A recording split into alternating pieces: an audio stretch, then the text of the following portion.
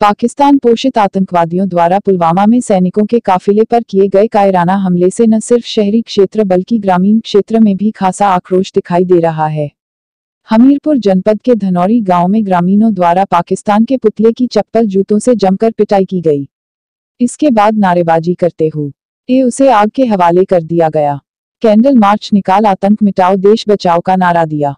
लक्ष्मीकांत सोनी, राजकुमार पांडेय, मुन्ना राजपूत, जयराम पाल, प्रमोद सोनी, दिलीप कुमार, रामनारायण, नरेंद्र शर्मा, धर्मदास पाल, वालादीन कुशवाहा, रामसेवक प्रजापति, नीलेश कुमार, प्रवेश गोस्वामी, सोनू, रविंद्र आदि मौज। द रहे, यूपी 24 के लिए जिला संवाददाता जयशंकर त्रिपाठी की रिपोर्ट। पाकिस्तान!